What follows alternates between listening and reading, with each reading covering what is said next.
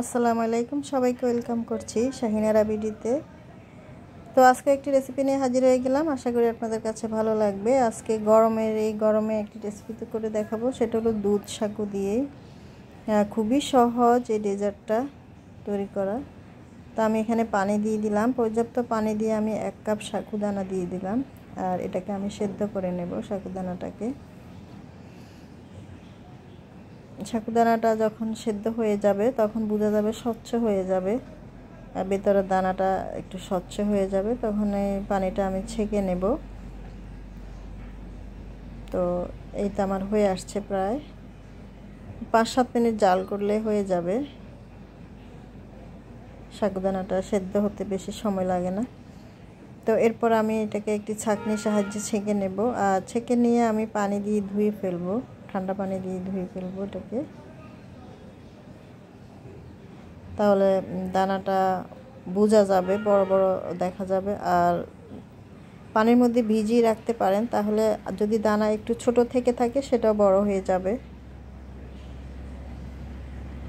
তবে খুব বেশি সিদ্ধ করা যাবে না, তাহলে কিন্তু গলে যাবে। তো এদিক দিয়ে আমি নিয়ে নিলাম ইস্ট। এক টেবিল চামচ, এক টেবিল চামচ ইস্টের সাথে আমি পানি দিয়ে দিলাম। প্রায় চার টেবিল চামচের মতো পানি দিয়ে আমি মিক্স করে নিচ্ছি। ইস্টটাকে অবশ্যই গুলিয়ে দিতে হবে। ইস্টটা গুলি গুলি না দিলে দলা পেকে যেতে পারে, সেজন্য ইস্ট গুলিয়ে দিতে হবে। আর ইস্টটাই জমতে সাহায্য করবে আমাদের এই ডেজার্টটা। তো এখন আমি চুলোর মধ্যে দুধ দিয়ে দিলাম। লিকুইড মিল্ক আমি দিয়ে দিলাম। এখানে হাফ হাফ লিটার দিয়ে ভালো করে জাল করে নিচ্ছি। তো এটাকে ভালো করে জাল করে নিয়ে আমি এর সাথে কিছু পাউডার মিল্ক অ্যাড করেছিলাম। আর এদিক দিয়ে আমি তবে ঠান্ডা অবস্থায় এখন দুধটাকে ঠান্ডা করেছি আগে ঠান্ডা করে এখন আমি দিয়ে দিলাম রু আফজা। রু আফজার ফ্লেভারটা অনেক ভালো লাগে দুধের সাথে। আপনারা দিয়ে দেখতে পারেন রু আফজাটা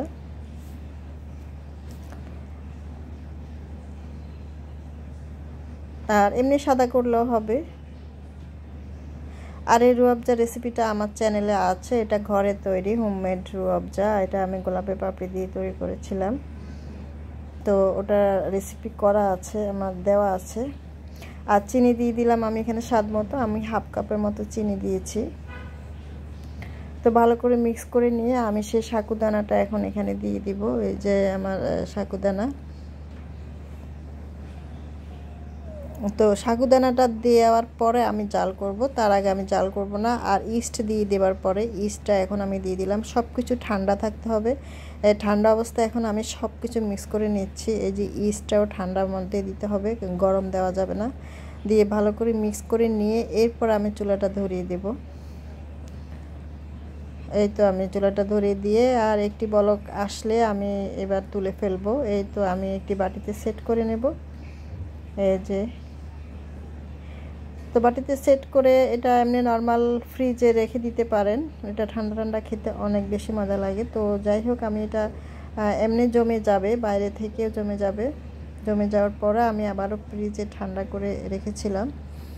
তো ঠান্ডা করে রেখে এরপর আমি পরিবেশন করতে নিয়ে আসলাম। এই যে এখন আমি মোল্ড আউট করে দেখাবো। আর সাইডটা আমি ছুরির সাহায্যে একটু আলাদা করে নিচ্ছি।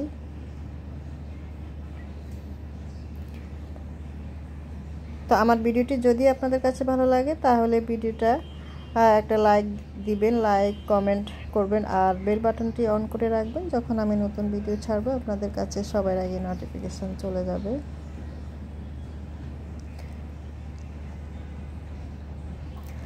আর আমার একটি গজলের চ্যানেল আছে শিউলিটুন আপনারা চাইলে সেখানেও ভিজিট করতে পারেন। ওটা আমার নিজের গাওয়া গজল। তো এইটা আমি কেটে দেখাচ্ছি। আর দেখতে কালারটা খুবই সুন্দর এসেছে। এই রমজানে আপনারা ডেজার্ট হিসাবে এটা ইফতারে পরিবেশন করতে পারেন, ঠান্ডা ঠান্ডা।